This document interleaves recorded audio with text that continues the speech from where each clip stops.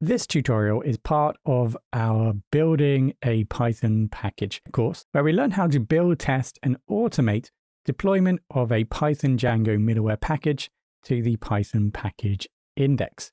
You can watch the entire course uninterrupted, ad-free, and access updated tutorial source code and other resources from our Udemy course.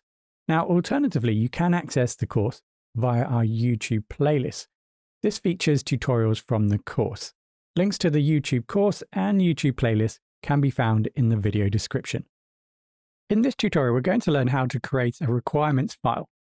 A requirements file is a list of all the project dependencies. Having a Python requirements file is a good way of keeping track of all the modules, all the packages that your application requires in order for it to work correctly. So back in our project, I'm just going to press Control and C because in the last tutorial, we left off having the server turned on. So I'm just going to close that by pressing Control C. You can see that then returns me to the terminal. So I press Command K to remove all that. If you're on Windows, CLS, enter. Just type in CLS and press enter, that will clear. So in order for us to now save, to save or create a list of all the project dependencies, I'm going to type in pip, which is the Python package manager again, and type in freeze and then use the right chevron and then create a new file. So I'm going to call this requirements, but you can call it whatever you like. It doesn't really matter. The requirements.txt, press enter. We now have a new file appears.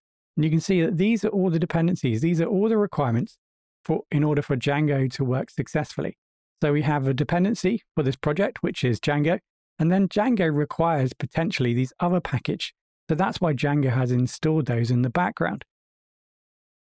So what we have now is a way of ensuring that if I were to give you this project, all you would need to do was have a look at this requirements file and actually just load in all of these requirements, and then you could start the project.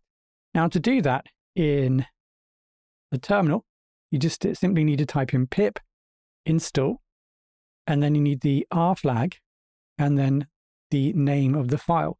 And what that would do, pip would then install all of these packages that's listed in your requirements file. So should you now need to replicate this environment on another computer, for example, simply just create a new virtual environment on that computer, download this package, this software, or this code onto that machine, and then just type in pip install minus r requirements.txt. And then it will then install all the dependencies, and then you can start the application.